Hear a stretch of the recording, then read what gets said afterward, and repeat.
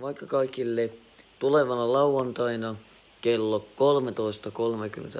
13.35 ilma, tota, kerron todella tärkeää asiaa liittyen tota, pöytijääkiekkoon sen verran mä voin san, sanoa, että tota, siinä ker, kerran tota, mitä tapa, tapa, tapahtuu äh, tota, kahden tulevan pelatun kauden jälkeen, olen naisystäväni kanssa päätetään yh, yhdessä asia, asiasta.